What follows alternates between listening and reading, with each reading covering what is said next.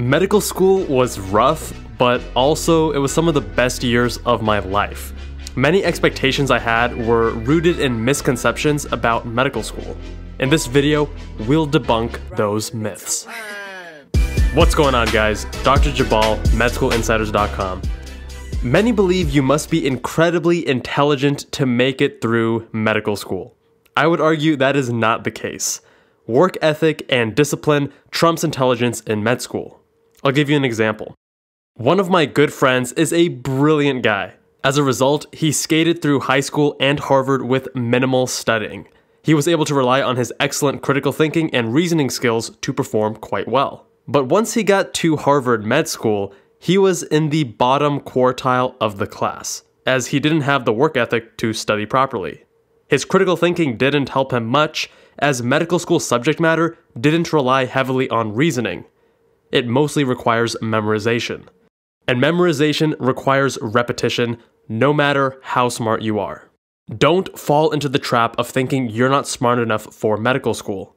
If you're not doing well in school, it likely has little to do with your intelligence and much more to do with your study strategies, time management, and work ethic.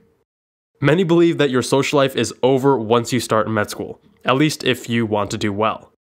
While your academic responsibilities and pace of learning is much greater, you're also doing fewer extracurriculars. Overall, you'll have less time than you did in college, but it's not nearly as bad as most people make it out to be. I was able to go out with my classmates a couple times every month, I was able to stay active, and even pursue new sports like surfing and cycling, and enjoy other social activities with my friends. The first year and second half of fourth year offer the most flexibility with your time. Socializing during your second and third years will certainly be more challenging, but it's far from impossible. In fact, I would urge you to put in the effort to make it happen, as bolstering and maintaining a strong social support system is key to success in med school. Third, students overemphasize the importance of STEP and underemphasize the importance of other factors. The competitiveness of your application for residency is not simply set by your Step 1 score. While both step 1 and step 2 are incredibly important in your application, there's much more to it than just that. So the most influential factors will vary based on the specialty you apply to. For example, there have been studies surveying program directors of plastic surgery residency programs, and they concluded that applicants' letters of recommendation were the most heavily weighted factor. Don't ignore the importance of performing well on your clinical rotations either, even if the specialty you're rotating on isn't what you plan on matching into. For example, getting an honors in psychiatry looks great for those applying to plastics because much of plastics relies on foundational principles in psychiatry. AOA status, research experiences and publications, and appropriately preparing for your interview are also important factors that can greatly influence your competitiveness for residency we have all new, high yield, super comprehensive guides to the med school and residency interviews on the website that will help you crush your interviews. Number four, if you don't do well on STEP, your career is over. Like any standardized test, there's a normal distribution of the STEP and COMLEX exams.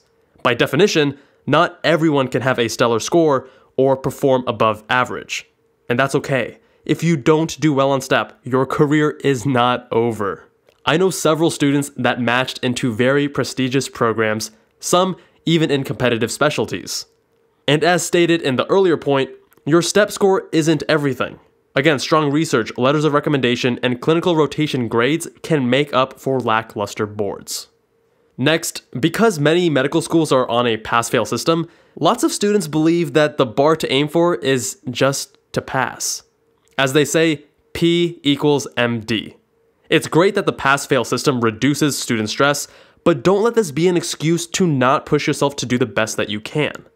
Studying hard and learning to the best of your ability will serve two purposes. First, you'll be establishing the foundation for the care of your future patients. The purpose here isn't only to earn an MD, but more importantly, to become a competent and effective physician in the process. Second, studying and performing well on your boards will become that much easier as well. It's no surprise that students who performed well in med school classes were usually the same students that performed well on STEP and matched into strong residency programs. And number six, the myth that you can be good at everything. Getting into med school is insanely competitive, and as a result, many students are type A overachieving personalities. Med school will be a wake up call for these students. Medicine is a rapidly expanding field, and it is impossible to be the best at everything. The further you go along in your medical training, the more your interests and studying will become specialized at the expense of other areas within medicine. I can tell you a great deal about surgery and the nuances of technique, but I'm definitely not the best person for managing bipolar disorder, and I'm okay with that. So these are some of the most common misconceptions about medical school that I see. Thank you to my good friend Dr. Vallette for helping in the creation of this video.